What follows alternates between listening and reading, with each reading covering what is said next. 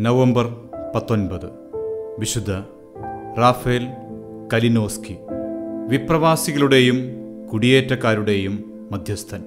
ലിത്വാനിയയുടെ തലസ്ഥാനമായ വിൽനയിൽ പോളിഷ് പ്രഭു കുടുംബത്തിൽ ആയിരത്തി എണ്ണൂറ്റി മുപ്പത്തിയഞ്ച് സെപ്റ്റംബർ ഒന്നിനായിരുന്നു ജോസഫ് കലിനോസ്കിയുടെ ജനനം.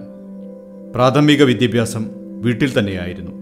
അദ്ദേഹം എഞ്ചിനീയറിംഗ് പഠിക്കുന്നതിനായി മിലിറ്ററി അക്കാദമിയിൽ ചേർന്നു.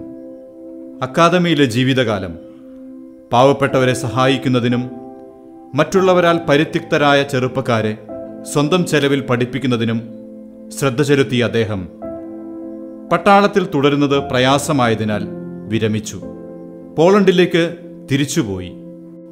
പോളണ്ടിലെ രാജ്യരക്ഷാ മന്ത്രിയായി നിയമിതനായ അദ്ദേഹം വിപ്ലവത്തെ അനുകൂലിച്ചതിന് വധശിക്ഷയ്ക്ക് വിധിക്കപ്പെട്ടുവെങ്കിലും കുടുംബത്തിന്റെ അപേക്ഷയും മറ്റും കണക്കിലെടുത്ത് വധശിക്ഷയിൽ ഇളവ് കൊടുത്ത് അദ്ദേഹത്തെ പത്തു വർഷത്തെ നിർബന്ധിത സേവനത്തിനായി പലപ്പോഴും അതിശൈത്യം അനുഭവപ്പെട്ടിരുന്ന സൈബീരിയയിലേക്ക് അയച്ചു.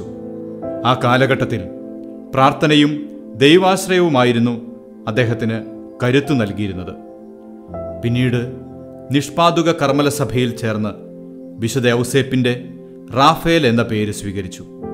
ആയിരത്തി എണ്ണൂറ്റി എൺപത്തിരണ്ട് ജനുവരി പതിനഞ്ചിന് വൈദിക പട്ടം സ്വീകരിച്ചു. കർമ്മലീത്ത മഠങ്ങൾ സന്ദർശിച്ച് പരിപൂർണരായി ജീവിക്കുന്നതിന് അദ്ദേഹം നിർദ്ദേശിച്ചിരുന്നത് വിശുദ്ധ ഗ്രന്ഥ പാരായണവും സഭാ നിയമങ്ങളെപ്പറ്റിയുള്ള പഠനവും ധ്യാനവും ആയിരുന്നു. ആയിരത്തി തൊള്ളായിരത്തിയേഴ് നവംബർ പതിനഞ്ചിന് അദ്ദേഹം നിര്യാതനായി. ആയിരത്തി തൊള്ളായിരത്തി എൺപത്തി മൂന്ന് ജൂൺ ഇരുപത്തിരണ്ടിന് വിശുദ്ധ ജോൺ പോൾ രണ്ടാമൻ മാർപ്പാപ്പയാൽ വാഴ്ത്തപ്പെട്ടവനാണെന്ന് വിളിക്കപ്പെട്ടു. ആയിരത്തി തൊള്ളായിരത്തി തൊണ്ണൂറ്റിയൊന്ന് നവംബർ പതിനേഴിന് വിശുദ്ധ ജോൺ പോൾ രണ്ടാമൻ മാർപ്പാപ്പയാൽ തന്നെ അദ്ദേഹം വിശുദ്ധനായി നാമകരണം ചെയ്യപ്പെട്ടു. ഇന്ന് വിശുദ്ധ റാഫേൽ കലിനോസ്കിയെ നാം ഓർക്കുമ്പോൾ പാവപ്പെട്ടവരെ സഹായിക്കാനും പ്രതിസന്ധി ഘട്ടങ്ങൾ ഉണ്ടാകുമ്പോൾ തളർന്നു പോകാതെ പ്രാർത്ഥനയിൽ സ്ഥിരതയുള്ളവരായിരിക്കാനും ദൈവത്തിൽ ആശ്രയിക്കാനും നമുക്ക് പരിശ്രമിക്കാം.